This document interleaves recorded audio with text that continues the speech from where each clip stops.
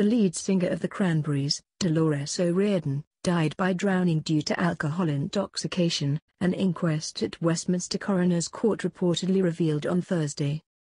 According to the BBC, O'Riordan, who was found dead on January 15 in her London Hilton hotel room, died as a result of a tragic accident after being discovered submerged in the bath with her nose and the mouth fully under the water.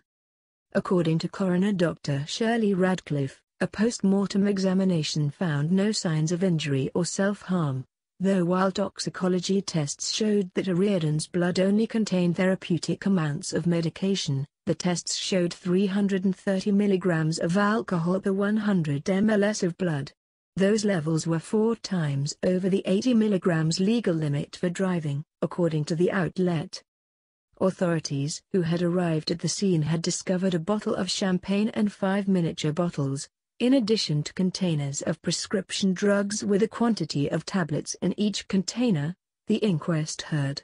O'Riordan reportedly suffered from bipolar disorder but responded well to treatment. She was said to be in good spirits when she had last spoken to psychiatrist Dr. Seamus O'Ciala on January 9.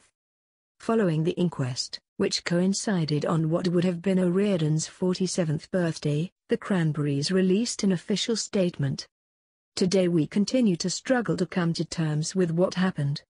Our heartfelt condolences go out to Dolores' children and her family and our thoughts are with them today, the statement began. Dolores will live on eternally in her music.